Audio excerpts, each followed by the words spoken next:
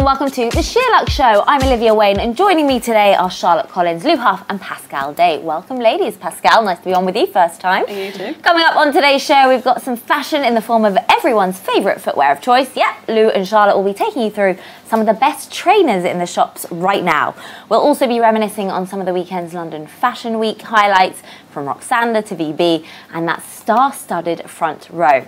Plus, I'll be meeting two seriously inspiring women, Laura Phelan and Abbey Russell, founders of Beyond Body Confidence, to find out how we can all have a little more self love.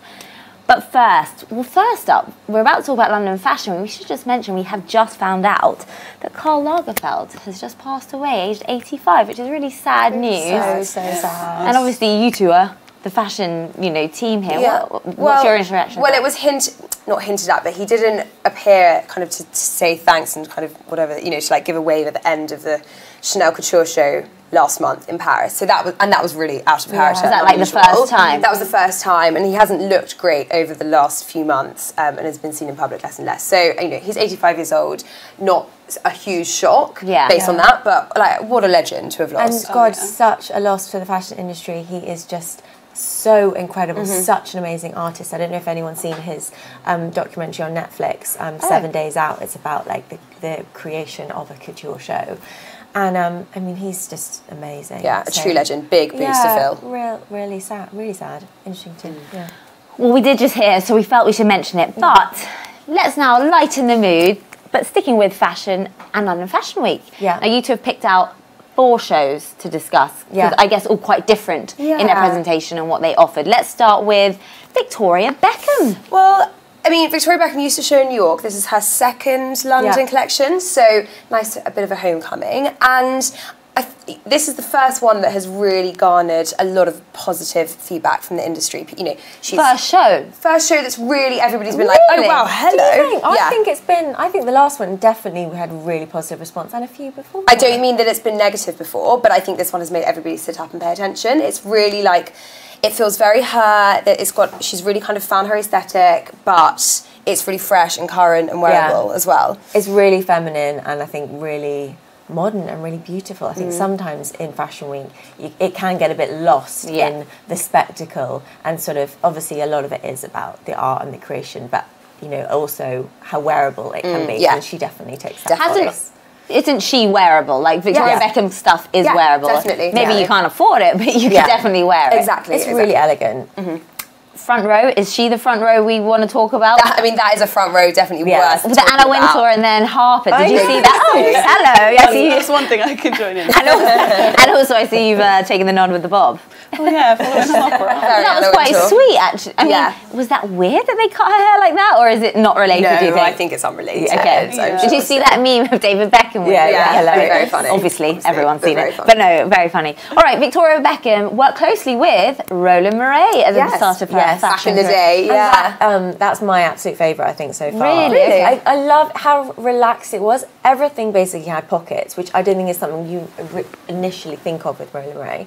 But I just thought it had like a real like ease and class and sophistication, but it was cool and modern. I loved it. Yeah, I think it's a brand that's come a long way. People tend to associate it with that Victoria Beckham Yeah. kind of shift dress. Yeah, style. that's all I think still, But so- no, no, it's it's come a long way, and I agree. Wearable is another kind of key, key Amazing that. separates, um, and just I love the colours, and Mm. I just thought I thought actually that was a real. That's not normally one that I'm like, ooh, Must I, watch, I really yeah. loved it. It's very grown up. yeah. So watch out because Zara, I'm sure you'll be copying that soon so we can all get affordable version of it. Okay, let's talk Molly Goddard. Well, speaking of spectacles, Yeah. this is not a toned back um, show, but it's, I think, uh, fans of uh, Killing Eve Yes. will have seen that giant pink dress. That Yeah. You know that they really Yeah. See, So- Pascale, you're all in on this You are so fashion. I know that. so fashion. So, and obviously that dress caused a massive stir Yeah. last year, um, and we've seen the 2019, the autumn winter 2019 version, Version, at yeah. Goddard, Goddard, which was just the, I mean, powder puff. I Yeah, don't even know how you describe it. So like so many colours, and also in the most amazing space. It's really grand. Yeah. So yeah, it looked amazing. Yeah. Um, I always felt the attention on the dress in Killing Eve was a little over the top. Don't get me wrong, it's an amazing dress, but why was there so much focus on it being the defining image of that show? I think it was more that it's um, surprising to see a show about strong, powerful women then incorporate amazing fashion as a kind of bystander. So it wasn't about the clothes; it was about this like, you know, villain. Yeah. But she just happened to be wearing this this incredible incredible dress. dress. Yeah. I think it was the juxtaposition of that. and it's like the dress fun itself. and quirky and almost could go like fancy dressy, but it's like Yeah, yeah, couture yeah. and it's amazing. And But then she was a murderer, and it was just- exactly. I think it was all of that. Yeah. Okay, thanks. I always wondered. Um, and finally, Burberry. The tale of two halves. Like, I mean, literally, like, I feel like he's, Riccardo Tisci's just been a bit greedy this season and was like, I like this style and I like this style, so I'm Yeah. just going to do both. Okay. Okay, so for for those that haven't seen the collection, tell us. So the the um, second half is slightly more traditional Burberry, as you sort of was, would imagine, and I guess he's obviously catering to both markets still. Very sophisticated, clean, that sort of camel traditional Burberry colour. It's got the check, amazing trenches. Absolutely loved it. How many times can someone redefine a trend? No, but you, they can't because they're Yeah, can. Right, okay, fine. Just so they checking. can. Yeah, and it's and it's more like an evolution. It's sort of it's it's keeping it. It's in keeping to its sort of tradition and, and what they're known for. It's the brand's like identity. Yeah, but it's just kind of keeping it modern and updating it slightly, and it's these those little tweaks I think that make it feel fresh and current and amazing. But yeah, then the second half. The second half was um, inspired by the youth of today and is very London, Youths. very Those youths. I know. Um, yeah, very London, very street, um, taking athleisure to a whole new level. So, So a is lot of- well, I mean. It's, it's, probably true. new gen athleisure, so it's not you know size stripe pants in like an Adidas way. It was a lot of like you know kind of fashion cut jumpers and very sporty trainers. The beauty look was particularly interesting. I'm sure people saw images of Gigi Hadid with like you know this kind of slicked um, Curls. curls against their forehead. Um, so yeah, really taking that kind different. of street Yeah, angle. and- yeah, and there's been a bit of that across Burberry, even even before Yeah, Christopher yeah. Bailey left. Like um, you know they've they've definitely been one of the brands who who've jumped on that like kind of modern aesthetic, but. Yeah. This was a step too far for yeah, me. and the last show also had that real two different sides to it. Um, but yeah, it really, it, it really interesting to watch. I thought. I think we could talk about London Fashion Week all day, but Sorry, we yeah. mustn't because we want to hear Pascale's voice. So let's also talk now about female friendships. I'm going to start with you, Pascale. Okay, so new research conducted by the Book of Everyone has found that the average woman has six best friends over their lifetime. What do you reckon? That seem valid to you? When I first heard it, I didn't think that was true, but then I thought about it and I was like, actually, I think that is true because like when you go through different stages of like school, when you're in primary school, you have one friend, and then you move on to like secondary school, and like sometimes that stays the same, sometimes it changes. But I don't think you necessarily just have like this one best friend and then this other best friend. I don't know like that it's that you um, have to switch them in and out. Yeah, Maybe you can just like keep adding. mm, Yeah. yeah. Cumulative. It was, it was vague, the research, so we'll keep it vague. One in ten women, though, admit they have more fun with their best friend than with their significant other. But do you know, it's different things. Yeah. I mean, why not? You could have probably a really girly, giggle, hysterical laugh at something that maybe your significant other might be like, hmm, not Yeah. funny. I don't think it's an either or thing. I think it's a Yeah. different purpose. Um, one in four women said their best friend knows them better than their other half. I don't think. No, I'm not sure. I, I- again, maybe at different times Yeah. in your life. like if Yeah, it's like a casual boyfriend and your best friend, yes. Hopefully Yeah. your husband or life Yeah. partner should know Or they you. didn't know you when you were growing up, for example. Um, and, you know. ours did, but yeah, Yeah, most yeah, yeah. people hope, like, m- most people Yeah. expand out of their initial Yeah, net. I just Like, have you'll not left do, my, yeah. my four-year-old friendships. But yeah. Um, okay, so yeah, we all have great best. Actually, my best friends are from when I was seven. They still are. There's five of us. So yeah, That's that. quite. I think that's quite rare. Me too. I've got keep exactly the same. Yeah. Well, we both went to the same school, so which you all know. but um, but we Different met. friendship groups. Yeah, different and different years. I'm Yeah. way older. Yeah. But um, ultimately, yeah, we met in year three and we formed our friendship and we just stuck. Even though we were moved around, different unis, different Yeah. everything, we still stuck together. Mine didn't even move That's around. really we went to nice. the same uni. Oh, did you? Yeah, pretty much. Uh, what am I talking about? So did we. Some of us just took gap years, so Yeah, we weren't there's like that as well. But Yeah, yeah, ultimately we stuck together. Anyway, moving on to not sticking together. Editing your ex out of old photos. Edit My Ex gives people the chance to remove their ex from photos, leaving only positive memories about the painful reminders of past relationships. I'm saying this all like flippantly, but a heartbreak is can really be awful. I actually went into depression after a heartbreak because I spiraled so. So I get it. I'm not being Yeah. whimsical. However, personally, even if I took him out of the of the um, picture, I don't think I'd look at the picture and be like, ah, and now it's a wonderful Now it's memory. okay. So that's more of a like. Ha ha about it because it's like really. And also, like, what are these images for? Like, are Yeah, they what do you is mean? frames that Yeah. you've got and then you've got a little So hole in? true. Or, like, I don't know, just don't look at those pictures or then decide when you want to and then just accept that there's someone in there. Right, and and that's kind of so. What's your view on Well, it? I, I think it's probably only. I don't think it's about like pics of the two of you on holiday together. I think it's about if there are memories that you do really want to preserve. For example, if you were at like a family wedding and he was in pictures, Right, okay, right, yeah. like then you might think, okay, well, we kind of want these photos. Let's let's ditch him. Um, so I think, or you know, my, like if you go traveling together, like properly traveling, mm, and Yeah. you've been to some amazing places. it's a bit of Yeah, cake. I get that. Into like if you were at Machu Picchu, you Yeah. climbed it, you'd be like, God, I would be like in 30 years want to look back at this. Yeah. Yeah. When I won't even care about him, but I don't need him in it. exactly. I feel like sure, if you want to do it, why not? You know. I know. I'm like intrigued by what they put in his place. I think you suggested a vase, didn't you? Yeah, just like. Oh, I don't. Then they just kind of. Me and my vase at the Grand Canyon. what if you're? You mean if you're like this? Yeah, like- yeah, but if I think it's more like if you're standing, surely they don't replace something; they just remove. What's I'll the- tell you what. Look at Diplo's Instagram. Do you follow Diplo? No. Big music No, he producer. is, yeah. He was. He's in. Oh, Cape Town actually. And anyway, in the sea, and he's like, oh, random people behind, and then he's like, oh, thanks, John Mayer, who has photoshopped those people out so that he's Like alone. actual John Mayer has Yeah, pictures well, you that. know, Who knew he was famous is no photoshopping? famous is. Wow. It's really How funny. Just watch, look at his Yeah, yeah, Instagram, well, and there you go. you'll see. I think it's probably more sophisticated than holes and vases. Oh yeah, proper. Pho- yeah, I know yeah. it's. Although it's an app, so is it? Anyway, finally, millennial manner, manners. Pascale, you wrote a piece on the new manners of millennials, but we also have some facts from a survey carried out by ourtime.co.uk, whatever, that compare old-fashioned manners with those of young people today.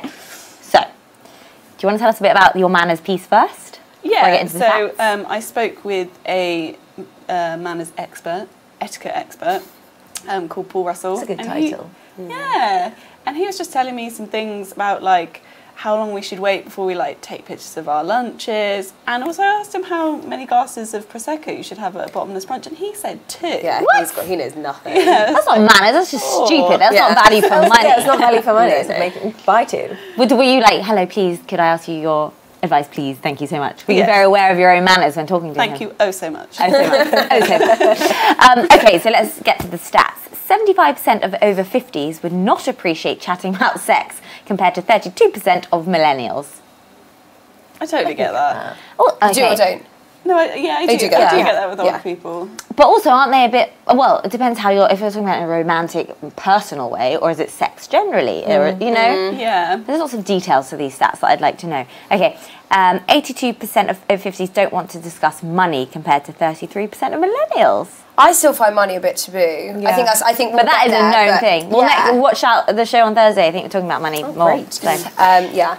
Um, okay, and finally, let's just. This one really struck me that the majority of over 50s, 85%, are confident in texting and messaging, much more so than their younger counterparts, of whom nearly 80% sometimes struggle with what to write, which I just find mind boggling because we don't speak on the phone, we Yeah. only text. I I- don't know. If you text my mum, she is very into texting, and she will send very long texts. That's true. Yeah, they I definitely think send long like messages. long- Yeah. I think like millennials may prefer like a WhatsApp chat, like question, The- que- not- uh, uh, question, yeah, exactly. emoji. Whereas it, like, Yeah. I'll often get like a really Yeah, long message with Yeah. a lot of Like things that are covered, and I have to like go. Do you know what my brother story. does that's so annoying? He does that one line I, texting. hate, I've got friends that do that. It's really I'm bad, like, yeah. can't you just write it all and then send? I don't need it drip feeding. But then it's because he's on his computer doing it. Oh yeah. So Oh. annoying. I, can I say, I think that's that stat probably comes from people being um, nerve. I think our generation, we've all kind of been burnt and we are a bit scared of wording things incorrectly in like email, probably more emails or texts. I think it probably means if you have something to say rather than just like General. chatting with your mates, then we're more cautious. Well, my mother-in-law's advice: never write anything down.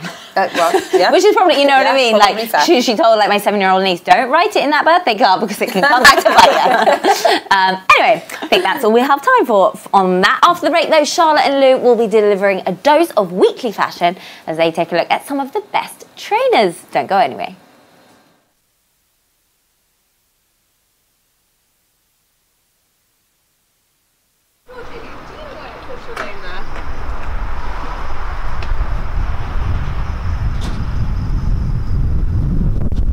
Oh, that that is amazing. What the fuck is that? Happy Valentine's Day. It's nearly Valentine's Day. It is nearly Valentine's Day. Do you think that's what it is? Oh my god, how did that get on there? I am loving this. Who's that from? No. How's Jonesy with the spray can? Jonesy's been skiing all weekend. It's not Jonesy. We are at the London Cooking Project. What's on the menu for today? Sea bass, bok choy, lime, lemongrass. Any herbs that you really have as well. That's Asian sea bass cooked in a bag. What a fun day. How's it taste? Oh my god, that's so good. It's delicious. Mm. Thai curry prawns.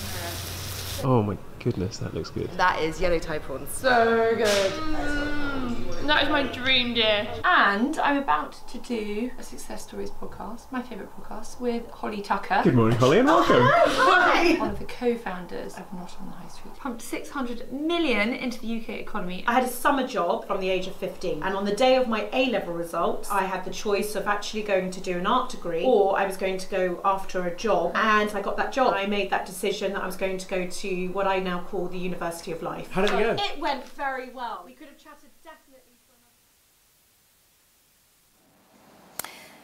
Trainers are as much a part of our capsule wardrobe these days as white t-shirts, but it doesn't just have to be a pair of white trainers anymore. There's a whole spectrum out there that we're going to show you today because you really can do anything when it comes to trainers. You can't really can. Even look at these, I'm like, yeah, I kind of need all of these Yeah. in my wardrobe. I agree. So let's first up start by talking about Veja, Yeah. which is a brand people probably have started to hear about by now, but very much an emerging brand over Yeah. the last few months. Definitely. Um, I think they've got some really good styles, lots of different shapes. They also have a vegan range. Are they not all vegan? No, not all of them. These ones Oh. aren't. Um, but everything is, all the produce is all, all organically sourced. They've got a very big sustainable message. So really, really great brand values. And they're, if you know, style wise, they're that kind of basketball style, um, quite sporty, quite masculine. Yeah. Um, but I think at this point, we all just kind of have to accept that white trainers are quite masculine. You Yeah. know, they're not. There's nothing really feminine Definitely. About them. So but then these are plain white, but then you can yeah. Mm-hmm. get some sort of soft pink, there's some reds, there's some blue. So I think, you know, you can play with colour a little bit or just go with the classic all white. Sure.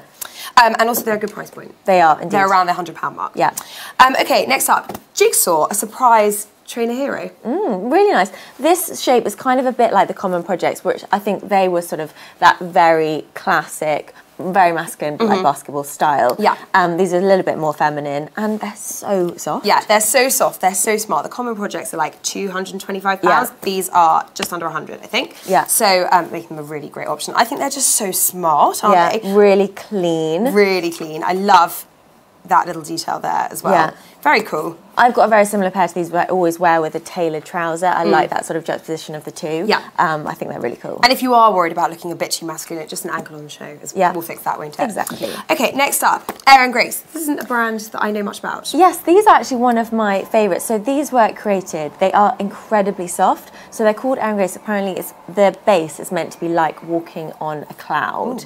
um, and these are their slightly more um, cleaner styles in terms of sort of a white and a grey. But they also have like um, they've got leopard print, they've got glitter, oh, they've got them- some really Yeah, yeah, yeah, yeah. colourful Okay. styles as well. So these are the slightly more pared back. But if you want to get something jazzy, which you totally can with trainers, we've got a pared back version here. But um, they are insanely comfortable. And I like that they're a mix of the suede and leather as well. If you don't want that like stark white look, then these are quite good Yeah, between. and they also have like it's not a wedge, but it's slightly lifted, so just to give you that like little bit of height. They do feel they've got like a nice little bounce. yeah, but they are just they are honestly are so so comfortable, and they also have like not a high top, but it comes up a little high and it's got a little zip there. And they're- If you want something a bit more um, fashion. They forward. do. You're right, and they're 149 pounds. So again, not too much because you really are going to live in these. Exactly. Okay, next up, Golden Goose. These are slightly at the higher end of the spectrum, but you can't really beat them for comfort, can you? No, exactly. And again, I love the like the little color details that they have. The- With these are the black, but they also come pink, Oh, I mean, glitter, leopard. Yeah. Um, really, really cool. Yeah, really cool. And everybody, I don't have a pair, but everybody who does absolutely swears Yeah. by them, don't they? Um, and you don't even really have to do the laces. You know, they're the kind that you slip on, slip off. That Yeah. You can just feel that leather is just, you know, so butter so soft, soft, isn't it? so so soft. I think just with all of these, you've just got to keep them clean. Yeah. So just like a little wipe down, like uh, nothing is nicer than a box fresh white Yeah, trainer. Completely but agree. actually, some of the Golden Goose are that sort of that very lived in already. These are a, Mm. a kind of cleaner pair, but some of them do have that. There's a lot of distressed styles Yeah. out there, and it's also a look that's really been copied quite a lot. There's a lot of star print trainers out there, but just look for the Golden Goose Yeah. slash DB. So you know you're in the right place. Yeah. Okay, these aren't white, obviously, but No. we couldn't let a trainer haul slide without talking about a sportier pair. Because Yeah. actually, sometimes an outfit demands something a little bit tougher than just a plain white pair, doesn't it? Yeah, exactly. And I really like actually that these are in black. Mm. I think sometimes like it's nice to have uh, to mix up your outfit a Mm-hmm. little bit, and I think these with like with leather look really cool. Really cool. Also with white in summer, if you're wearing Yeah. something really pretty and soft, it's quite nice to toughen them up a bit.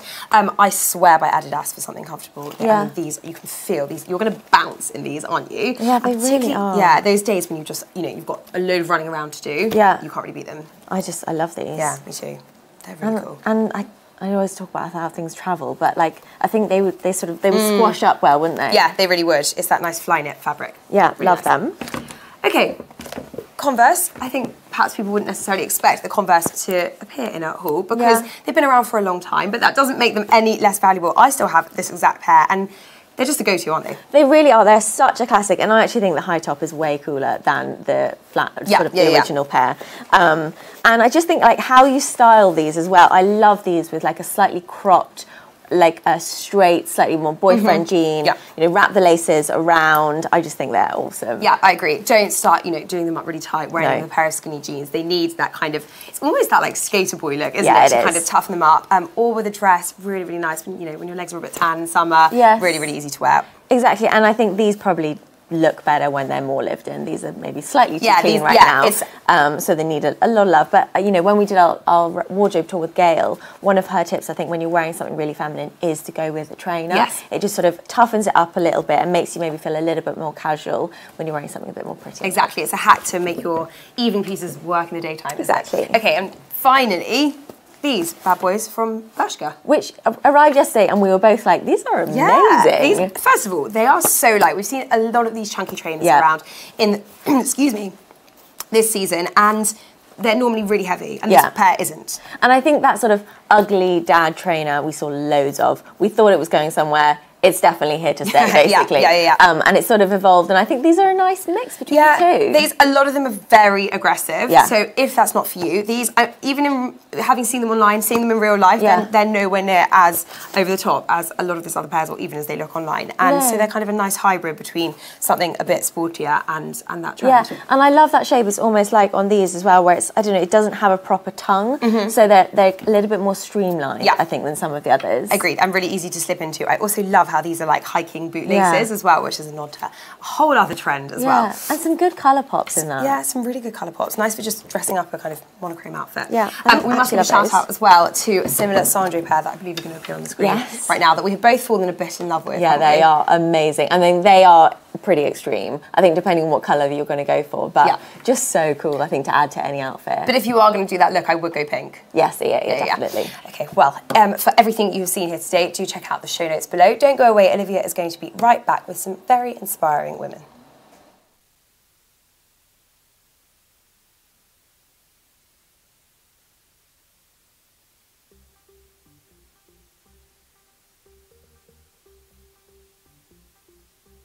Hi, I'm Nikki, founder of Barrecore. Today I'm going to show you a quick Barrecore workout you can do in your living room or anywhere. Today we're just going to use our body weight for resistance. You don't need any props, just a little bit of space in your living room or wherever you might be.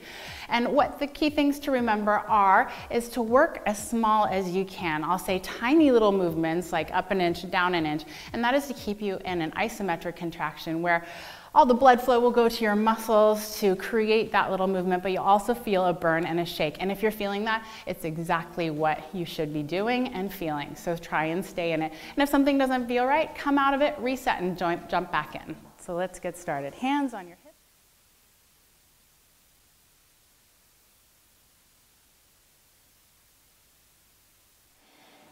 Now, here's a shocking statistic for you. Up to 96% of British women are unhappy with the way they look. Joining me today are two women on a mission to change that.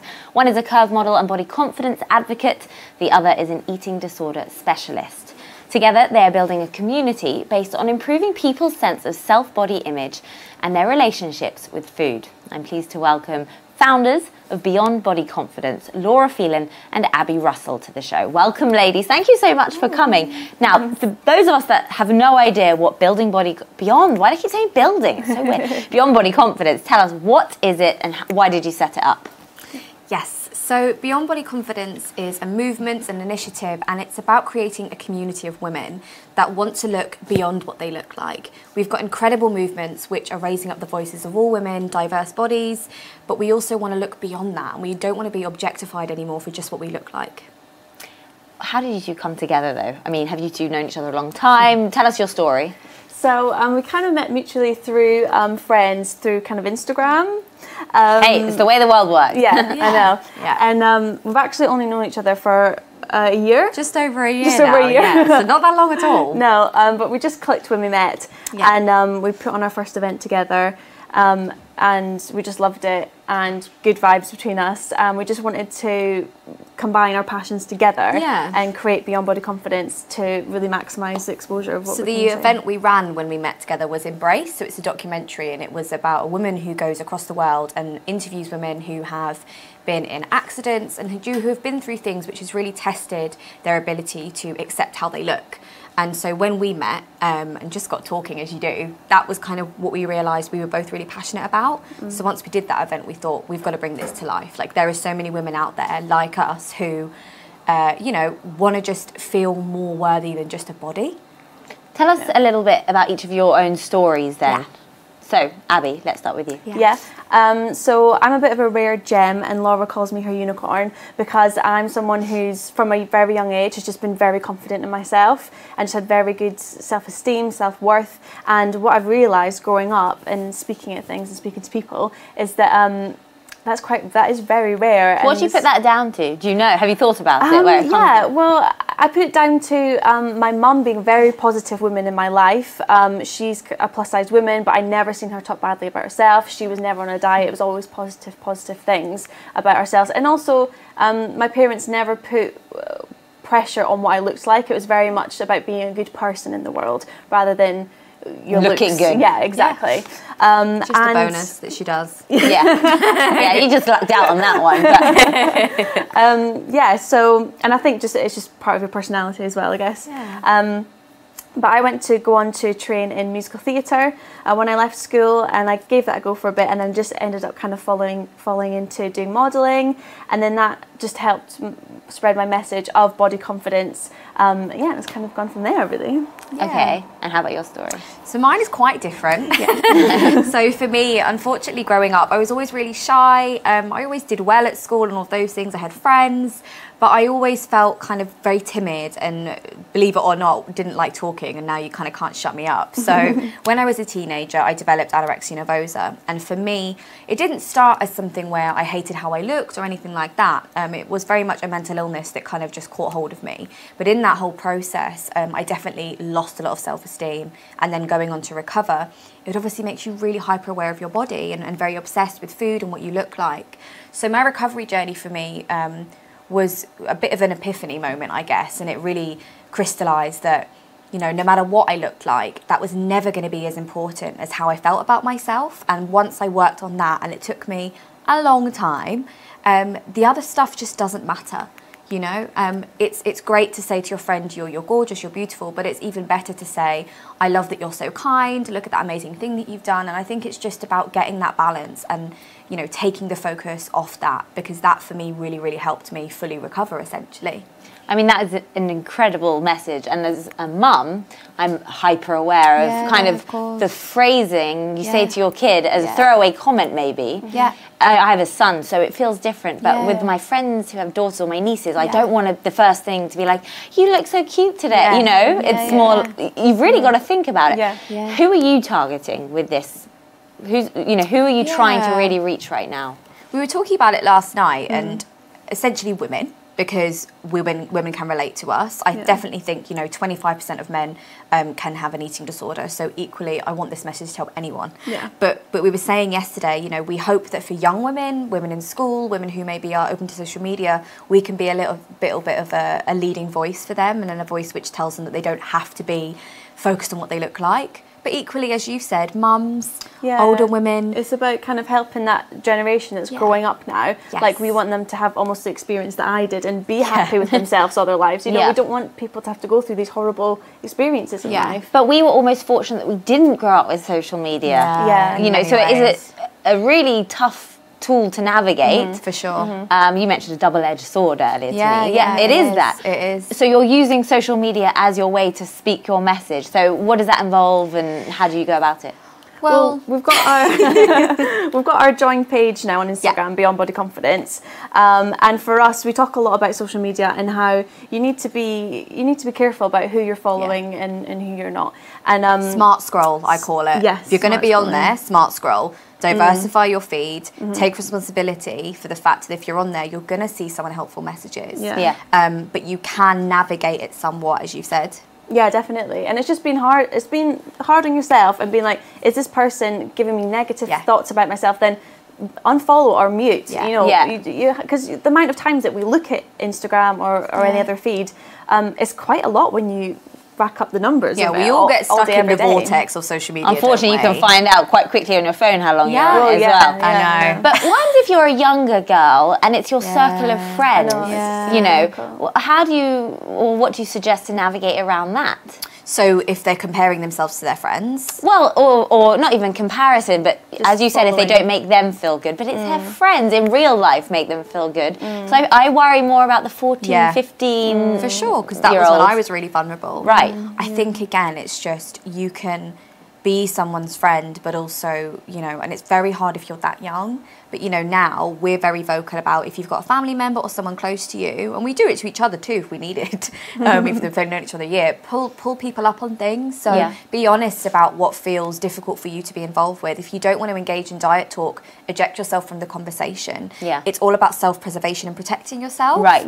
Um, because it's not going to help your relationships with people Mm. if you're feeling that um, that kind of way. Yeah. It feels like what you're doing is very, very relevant right now. Yeah. Jameela Jamil's just done her I Weigh kind of account, Mhm. and she's a hugely vocal voice Yeah, in yeah, this. Um, do you align yourself with that? And you know, what do you think of it? Yeah, definitely. I mean, the whole message behind I Weigh is obviously those pictures with the words, but you know, it's nothing to do with what Weight, you look like. yeah, or you know, look, yeah. nothing So to do with needed that right now. And um, to focus on that is just what we need because to, to really for anyone to be the happiest in their life and in their body, it's regardless of what you look like. What you look like is irrelevant. So, beyond body confidence as a thing, what do you do?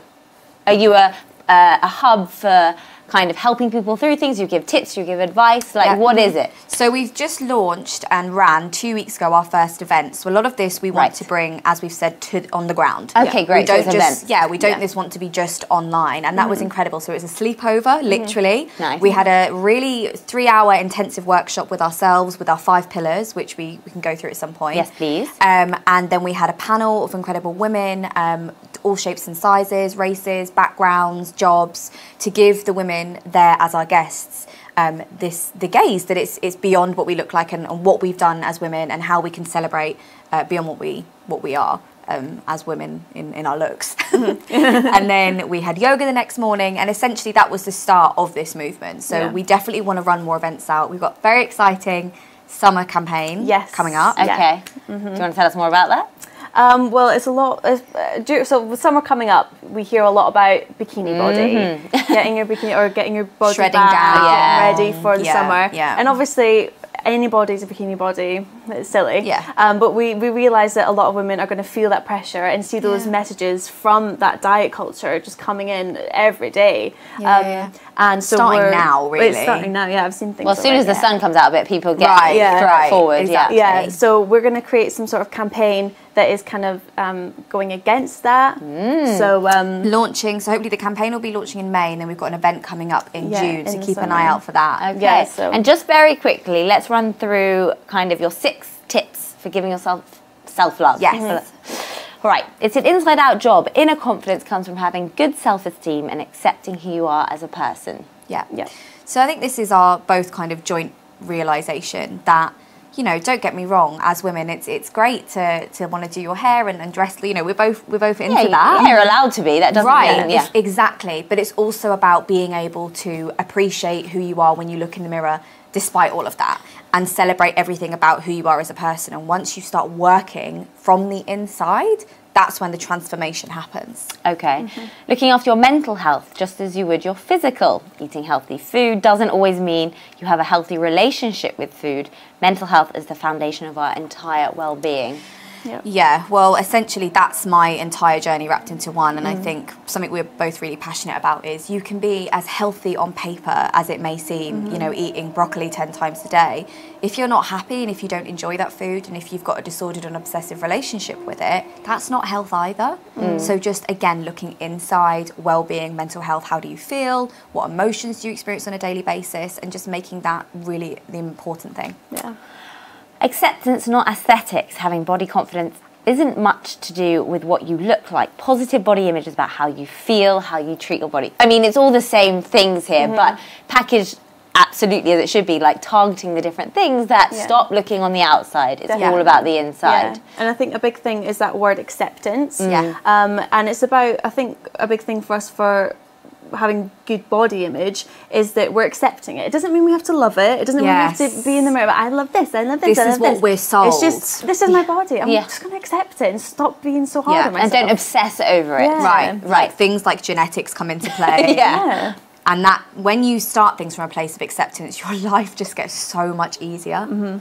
Okay, that's really good advice. Um, and just finally, rejecting diet culture, less objectification of the body, diversify your feed and your life. So that's Yeah. interesting. It's not just who you're looking at, it's who you're hanging out with too. Oh, absolutely. Well, literally, we've only known each other about a year and a half, but I Mhm. think definitely for me, Abbey has just such an impact on thinking about who I surround myself with, the energy that I give out, and that is Mm. such an important thing for how how you value yourself. Yeah, definitely. And then also um, di- diversifying your feed. So you are kind of following people who might not be living the same line of life as you. You're going to hear different experiences. What I've really learned about over the past couple of years is how um, fat phobic society is because I've been following a lot more plus size people as I am classed as a plus size model and um, realizing that and seeing the huge problem that we have in the society with Mm. that. Um, so, you know, you're learning a lot more if Yeah. you're just following kind of different types of people. Widen your net. Yeah, absolutely. All right, really interesting stuff. Thank you so much, uh, ladies. I'm sure you will have given much reassurance to many women watching. So thank you so much for joining us today. For more information on the ladies and body confidence, please do follow their Instagram at Beyond Body Confidence. Everything will be linked below as always. Thanks again to the SheerLuxe ladies. We're going to be back on Thursday with tips on how to manage your money and special guest, Deliciously Ella, will be here. Very exciting. In the meantime, please do rate, review, subscribe, and tell your friends. Bye bye.